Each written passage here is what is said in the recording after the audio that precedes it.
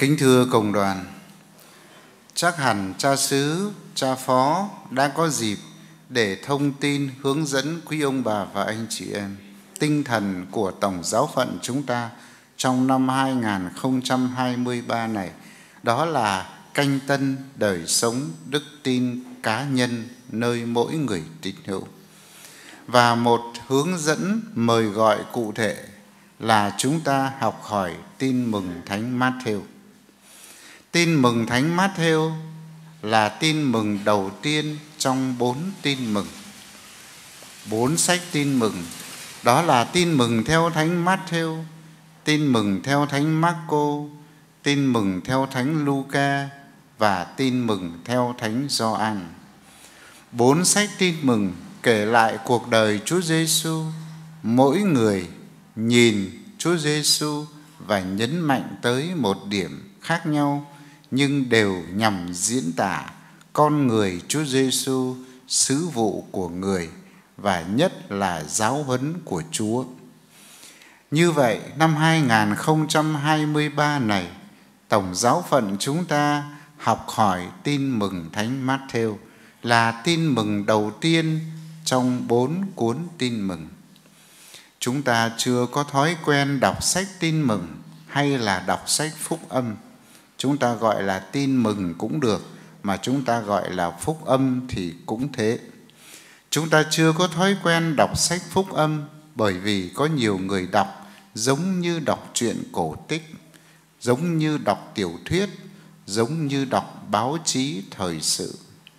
Đọc tin mừng với tâm tình cầu nguyện, đọc tin mừng với cố gắng suy tư, đọc tin mừng với những cảm nhận thiêng liêng và đọc tin mừng, phải suy tư để biến thành hành động. Như thế mới là đọc tin mừng hay là đọc phúc âm mà giáo hội mong muốn nơi chúng ta. Có nhiều người có cuốn tân ước trong gia đình mà không mấy khi đọc. Bởi vì nói đến những việc phép lạ Chúa Giêsu làm, họ biết hết rồi kể lại việc Chúa Giêsu chữa người mù từ khi mới sinh, họ biết hết rồi. Kể lại việc Chúa Giêsu làm cho ông Lazaro sống lại, họ biết hết rồi.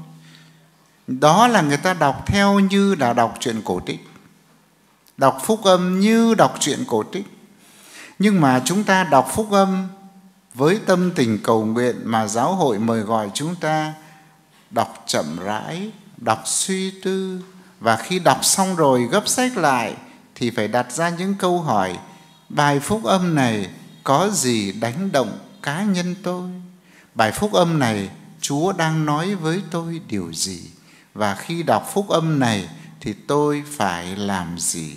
Thưa quý ông bà và anh chị em, các cha sẽ hướng dẫn chi tiết hơn trong tinh thần lời mời gọi học tin mừng thánh phát theo như tôi vừa đề cập tới chúng ta trở về với bài phúc âm mà chúng ta vừa nghe, cũng được trích tin mừng thánh mát theo mà ở phần đầu, trong phần đầu sứ vụ của Chúa Giêsu mà chúng ta gọi là bài giảng trên núi và cụ thể đoạn phúc âm chúng ta vừa nghe, trích ở chương 5 được gọi là bài giảng tám mối phúc thật.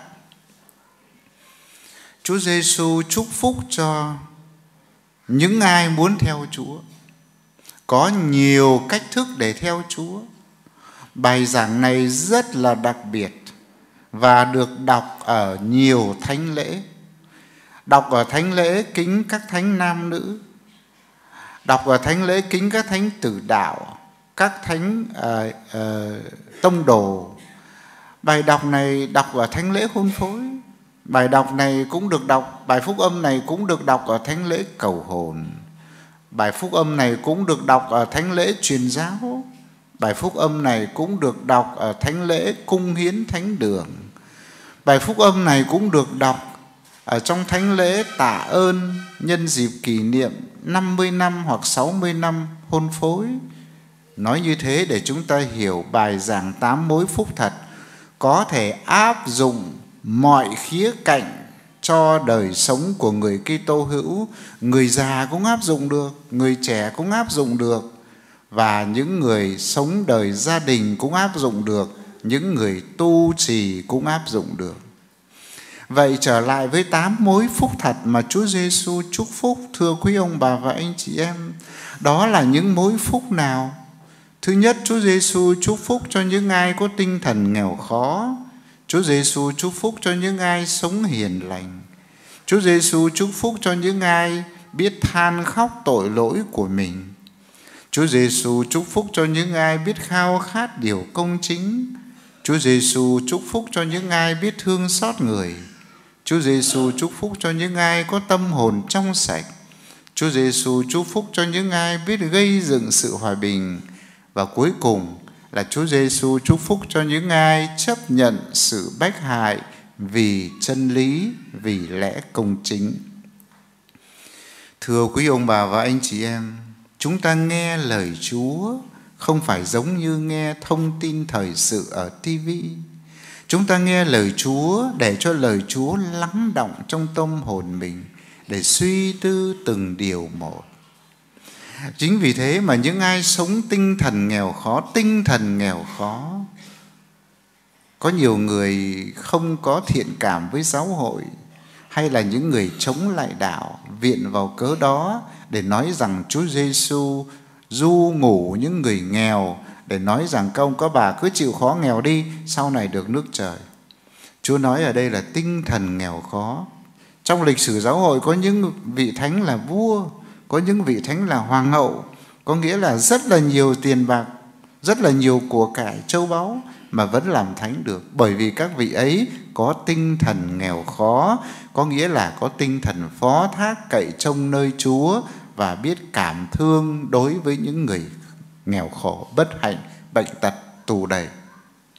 Như thế Chúa Giêsu chúc lành tám mối phúc thật gọi là phúc thật mà mỗi người chúng ta cố gắng để đạt được một mối phúc trong tám mối phúc của Chúa thì chúng ta đã nên hoàn thiện và chúng ta được gọi là người có phúc.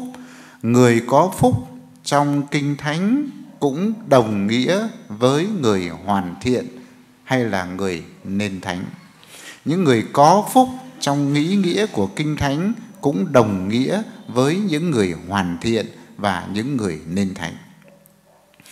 Nếu chúng ta phân tích có thời gian mà phân tích từng mối tam phúc trong tám mối phúc thật của Chúa Giêsu, thưa quý ông bà và anh chị em, thì tám mối phúc thật ấy diễn tả tám khía cạnh của cuộc đời người Kitô hữu, cũng là tám con đường để dẫn chúng ta đến để gặp gỡ Chúa, tám phương thế để chúng ta đạt được nước trời hay là tám phương thế để chúng ta nền thánh?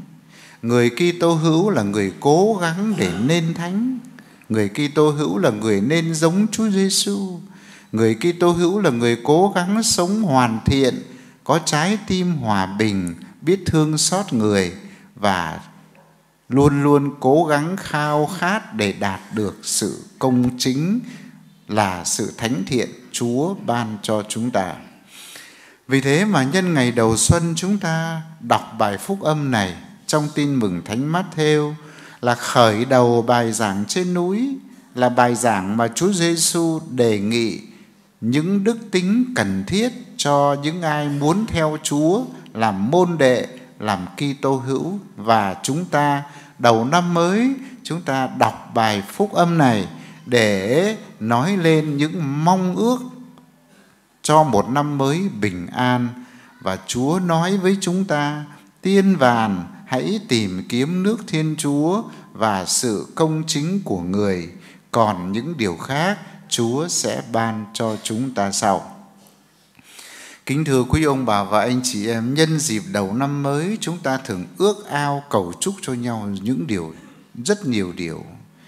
Người ta gặp gỡ nhau, người ta chúc cho nhau sức khỏe, bình an, hạnh phúc, tiền bạc nhiều và thành đạt xây nhà, xây cửa, lấy vợ, lấy chồng buôn bán phát tài. Đó là những điều mà chúng ta cầu chúc cho nhau. Mà đó là những điều tốt lành. Đó là những điều tốt lành. Chúng ta tin vào chúa chúng ta không phủ nhận những điều ấy. Nhưng đối với người công giáo cùng với những điều ấy chúng ta phải xin Chúa ban cho chúng ta có đức tin vững vàng và xin Chúa ban cho chúng ta được trở nên con người có phúc trước mặt Chúa. Lúc nãy tôi vừa nói trong truyền thống kinh thánh người được chúc phúc thì cũng đồng nghĩa với người hoàn thiện hay là người nên thánh. Vì thế chúng ta phải cầu xin Chúa ban cho chúng ta được muôn phúc lành. Trong các bài đọc mà chúng ta vừa nghe, bài đọc thứ nhất trích sách dân số nói lên lời chúc phúc mà chính Chúa đã hướng dẫn cho ông Môi Sen. Trong những dịp đầu năm, trong những dịp lễ trọng, trong những dịp quan trọng của cuộc đời, chúng ta cầu chúc cho nhau những điều tốt đẹp. Nhưng mà điều cần phải cầu chúc đó là nguyện xin Chúa ghé mắt nguyện xin Ngài tươi nét mặt để nhìn đến anh chị em. Và cầu chúc như thế là chúng ta đặt mình cuộc đời mình dưới sự bảo trợ của Chúa dưới sự nâng đỡ của người với niềm xác tín rằng Chúa là đấng chúc phúc cho chúng ta. Thưa quý cộng đoàn, như tôi vừa nói ở đầu thánh lễ, chúng ta dâng thánh lễ này cầu xin Chúa ban cho chúng ta được những điều tốt đẹp. Gia đình được hạnh phúc, công việc được thành đạt, tương lai sự nghiệp được sinh nhiều hoa trái. Tất cả những dự tính của chúng ta là người công giáo tin vào Chúa cần phải đi với lòng đạo đức của con người và lòng cậy trông. Như người Việt Nam chúng ta vẫn nói, mưu sự thì tại nhân, nhưng mà thành sự thì tại thiên. Con người vẽ ra những kế hoạch của mình, nhưng mà Chúa mới là đấng giúp cho chúng ta thành đạt được những điều ấy. Xin Chúa ban cho chúng ta một năm mưa thuận gió hòa, công việc làm ăn thành đạt, gia đình hạnh phúc mỗi người chúng ta có sức khỏe và niềm vui để chúng ta tin vào Chúa và chúng ta sống đức tin cũng như chúng ta thực hành những giáo huấn của người. Amen.